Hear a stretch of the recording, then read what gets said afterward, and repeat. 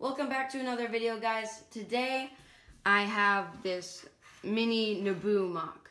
Um, I really like how this turned out. Uh, as you can see, I made like this front pathway out here, like outside pretty much. Um, I thought it looked really neat. I made this like little banister balcony and I decided to put like a explosion right there. You can kind of see I did some like red and some black uh, bricks and tiles to make it look like it was like blown up. Um, and also I bent like the part of the balcony to the side so it looked like it exploded out. I thought that that looked um, really cool. I also put these like little lanterns out there. Um, in the future, I'd like to get actual light up bricks. I think that would look way cooler. But for now, that's the best I could do.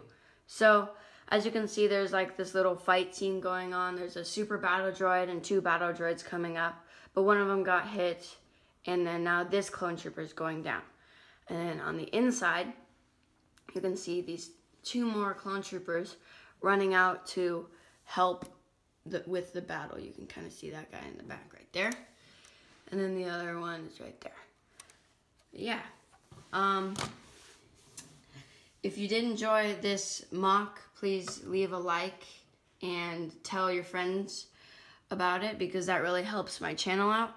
And if you want to see any videos about anything related to Lego, please let me know down below. I'm open to suggestions. So, yeah. Thanks for watching, and I will see you in the next video.